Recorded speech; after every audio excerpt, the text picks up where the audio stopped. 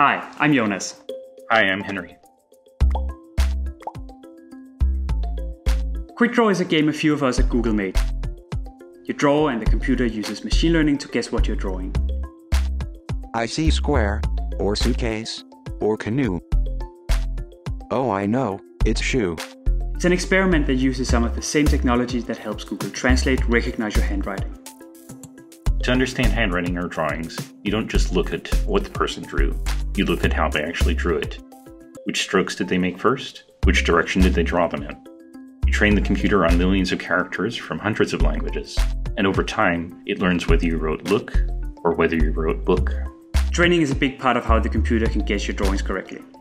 As people, it's easy for us to look at these three drawings and know they're all cats, but to a computer they're very different. One is just a head, one has a full body, and one is just facial features. To get the computer to understand, you have to show it a lot of cat doodles. And then it starts to see patterns, like that almost all doodles of cats have pointy ears, a small nose, and whiskers. Of course, it doesn't always work. That's because it's only seen a few thousand doodles. But the more you play with it, the more it will learn and the better it will get at guessing. Oh, I know, it's cat. We put it on the web for anyone to play with. We hope it inspires other people to think about fun ways to use machine learning.